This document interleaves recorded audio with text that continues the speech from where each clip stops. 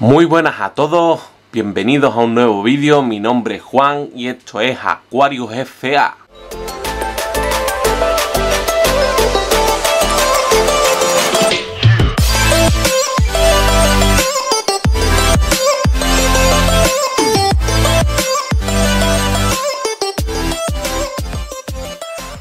Hoy os traigo un vídeo en el que voy a explicaros cómo mantengo un pez beta macho junto a gamba eh, neocaridina, ¿vale? Porque me lo han preguntado varios, porque es algo que por lo visto mm, hay personas que dicen que no se puede, que es imposible, que se las acaba comiendo. Bueno, pues este no es mi caso, ¿vale? Yo hablo desde mi experiencia siempre. por muchas cosas que yo lea, yo primero las pongo a prueba y luego os las explico a vosotros. Y ya como podéis ver, no sé si ahí se ve un poco. Ahí, justamente ahí. Eso es una cría de gamba, ¿vale? Eso es una cría de gamba. Ya no solo la, las adultas que están, sino que se, se están reproduciendo en la vetera.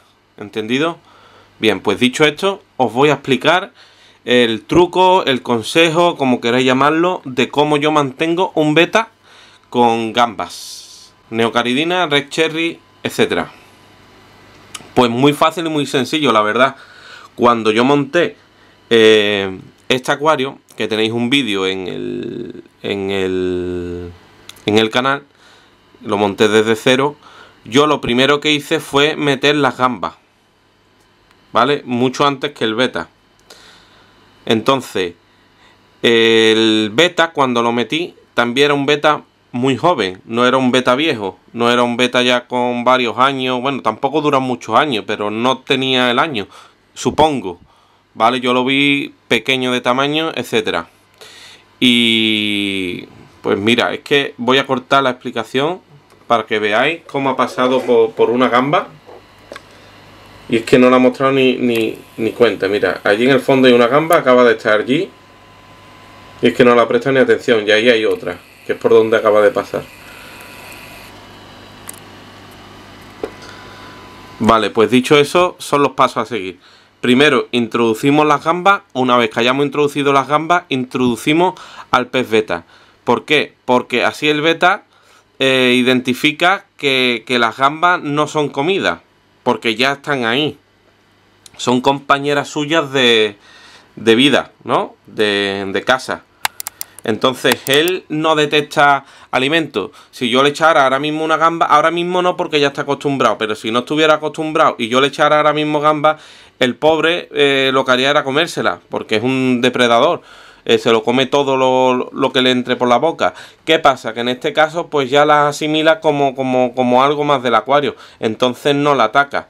Eso lo podéis hacer con caracoles y todos esos invertebrados pequeños que, que, pueden tener la posibilidad de, ser ingeridos por, por peces. Pues eso, muy fácil, muy sencillo, pero a veces las cosas fáciles y sencillas parecen más complicadas de lo que son.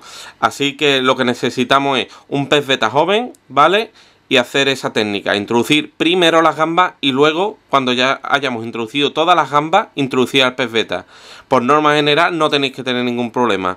Puede que en algún caso, claro, porque esto no hay que generalizar, no me vengan ahora las personas diciendo, no, es que se las ha comido, es que, bueno, es que es algo normal que, se las coma porque es un, es un depredador. Ahora con este método a mí me ha funcionado. Como podéis ver las gambas están a sus anchas, es que ni se esconde. Y ya os digo, incluso se me están reproduciendo. Como podéis ver, o sea, yo no tengo ningún tipo de problema con, con mi pez beta. Aquí no hay, trampa ni, no hay trampa ni cartón, se me han reproducido las gambas y yo lo he hecho de esa forma. No quita que a lo mejor tú lo hagas y el CPS beta pues sea de otra forma que se ataque hasta a sí mismo. Es que no, eso no lo, no lo sabremos nunca hasta que no lo, lo probemos.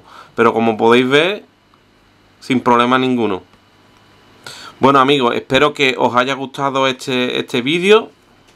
Sin más, me voy a despedir y nada, lo de siempre. Eh, fijaros Es que tengo que, parar la reproducción porque es que las personas que dicen que esto es imposible, no sé. Pues esa gamba no, no es artificial.